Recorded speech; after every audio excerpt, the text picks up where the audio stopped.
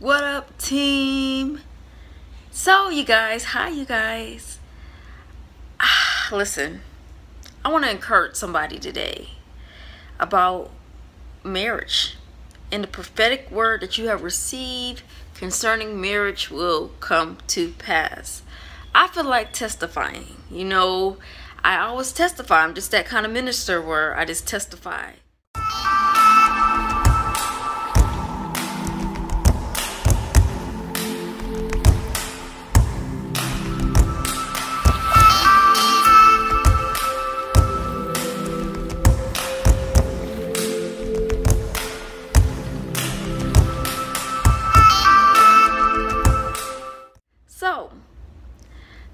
Told me months, you know, uh, before I actually met Tron that I was going to meet somebody from New York. It's going to be tall from New York. And I was like, okay. She just kept saying, woman of God, I hear New York. I hear New York. And see, God knows what he's doing.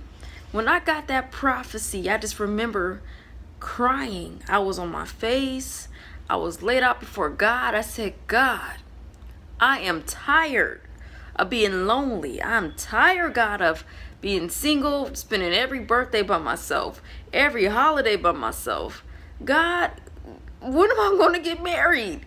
See, a lot of you guys, you feel like that. You feel like, God, I'm, I'm, I'm tired. I'm on the verge of just losing it. I'm, I'm getting ready to give up. Lord, I've been waiting for my husband. I've been waiting for my wife for forever. And that's how I felt.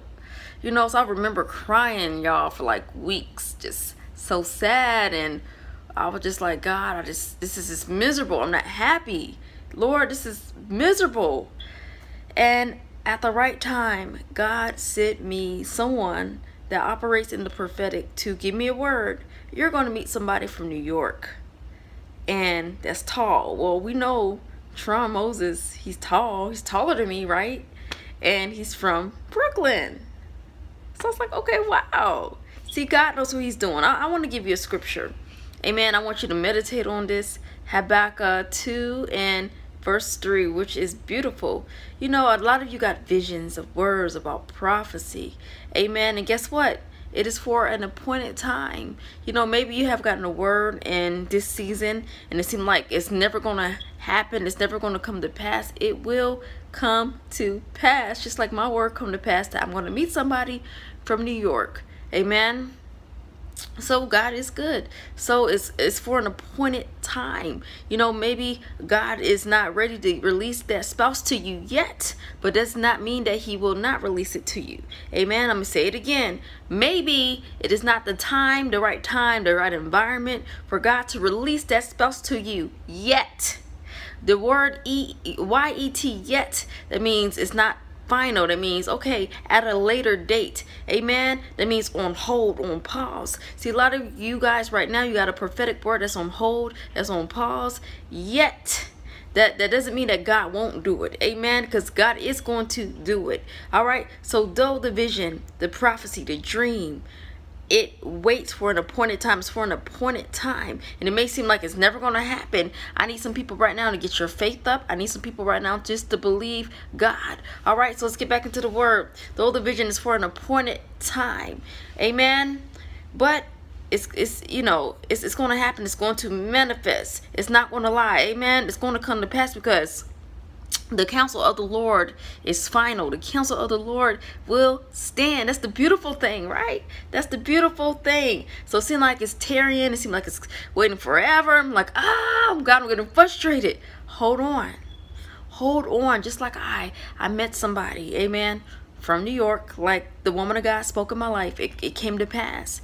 Amen. It came to pass. And your prophetic word is going to come to pass. Amen. I want to prophesy and, and, and, and decree and declare over you that your word, I'm going to war with your prophecy. Because a lot of people, you don't even have the strength to war with your prophetic word. I'm going to war with your prophecy that is going to come to pass. Amen. That God is not a man that whom he shall lie. In the name of Jesus, I prophesy that this is your year. That God will connect you to your man of God, to your woman of God God. This is your year, somebody. That that word is going to manifest. I need somebody to wipe their eyes and just put a smile on your face and just believe God and begin to give God praise. Begin to give God glory because it's going to manifest. Let's, Let's write, write, the book. the book. Got an idea for a book, but don't know how to get started? Let's work together and turn those ideas into a manuscript. After the manuscript is complete, there's an opportunity to get it published by Rejoice Essential Publishing. You will receive over eight hours of training by yours truly, Kimberly Hargraves. I'm an author of 13 books and more to come. I want to show you everything I know so you can become that published author that you always dreamed of becoming. Let's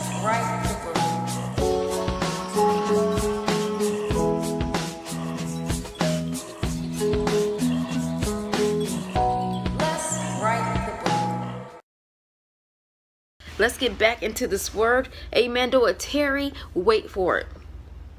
Just like I had to wait for my prophecy to come to pass. I felt miserable. I felt like I was going to die. I was on the floor, you know, day and night for about just maybe three weeks at a time. I said, God, I don't want to do this no more. God, I'm tired of feeling sad. God, I'm tired of going through the motions. But just like God manifested the word in my life, why wouldn't God manifest the word in your life? I said, why wouldn't God manifest the word in your life? Just like he manifested the prophetic word in my life. Amen. Telling me engagement and marriage and, you know, just just look at what God is doing in my life. Amen. You know, hello, you know, left hand ministry, you know. Come on, why, why wouldn't God do it for you? You know, you're special to God. God cares about you. Amen. Some people right now, you've been doubting God. Some people just gave up. Some people just got frustrated. Come on now. Is it the time to quit and be frustrated about the process? See, I believe God didn't give me, you know, I'm going to be real transparent to somebody. I believe in that season when I was crying, God was like I wasn't ready for it because God was still doing some things in me. Amen. And when you are in a relationship, amen. It takes a little bit of time away from god you know to to focus on your husband focus on your wife. But when you're single you can get a lot more done. And that's that's just the truth of the matter. But when you're married and you're in a relationship you got to try to balance everything. Amen. You got to try to spend time with your husband. You got to spend you clean up the house. You got to uh, spend time with your kids. Just things like that Come on now. And you got to put God first place, right? And spend time with the Lord. So, listen, uh, embrace your singleness, but remember, never stop believing. Never stop hoping because that prophetic word concerning marriage over your life is going to come to pass. The word of God tells us to wait for it. Do it, tarries. Wait for it. Amen. Because it's going to come. Surely it's going to come. Amen. It's going to come. So, listen. God is good. God is good. Amen. So I, just thank God for what I have in my life. Amen. The man of God, he always helps me to become better. You know, we're, we're friends. We can joke around. We can talk. Amen. And, you know, we just better each other. So listen, work on you in this time when you're waiting. Work on you. What do you mean, prophetess? Work on you. Work on becoming that wife. Work on becoming that husband. Work on becoming all you can be in Christ Jesus. And then at the right time, that prophetic word is going to manifest. It's going to fall upon your lap. Literally, you know, just I, listen, I got to the point where, you know, marriage has always been my desire. But I said, God, I, I want you more than I want a husband. And I meant everything I said out of my mouth. And it came to pass. Amen. It came to pass. All right.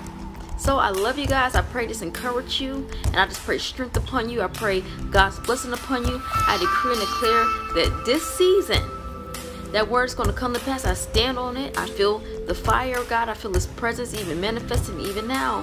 Amen. So I love you guys. Deuces.